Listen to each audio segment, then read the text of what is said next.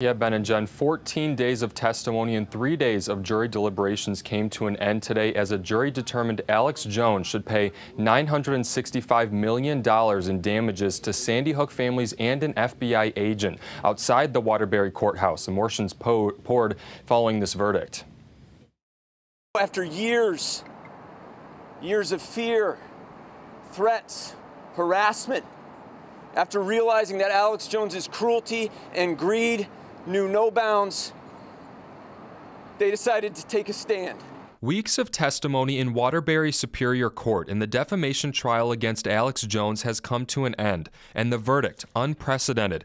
A jury ruled Jones be ordered to pay nearly a billion dollars in damages to eight Sandy Hook families and an FBI agent suing Jones for defamation and emotional distress. Some of them spoke after the verdict was read, including Robbie Parker, who lost his six year old daughter Emily in the 2012 shooting all I can really say is that I'm just proud that what we were able to accomplish was just to simply tell the truth.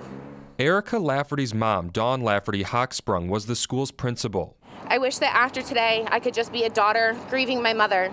After almost a decade of threats and messages from conspiracy theorists led by Jones, this is a moment years in the making.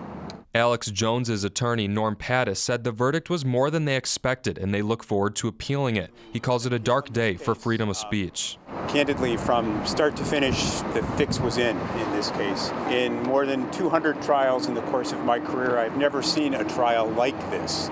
It was a trial bringing many witnesses to the stand, including Jones himself. Those impacted shared how Jones's lies and the response from his supporters since has taken a toll on their lives. The families say Wednesday's verdict shows actions have consequences and that the truth matters. This jury has taken back for all of us something we've been uh, hemorrhaging over the last decades, which is core decency and humanity.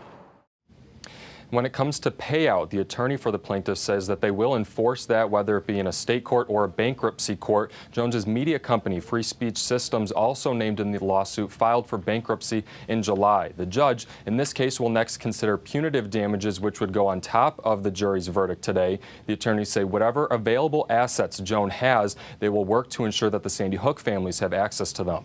In the newsroom, Tony Black, Fox 61 News.